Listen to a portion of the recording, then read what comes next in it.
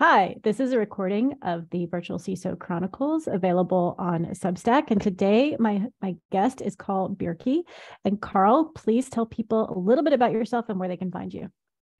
I'll be very brief. Not only do I have the best haircut in cybersecurity, uh, I also work in the compliance space. Uh, you can find me if you're interested on LinkedIn, uh, Carl uh, Bjerke, just see Bjerke.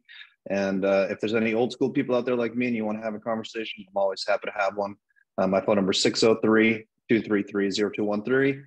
It's a New Hampshire number, even though I live here in the Carolinas.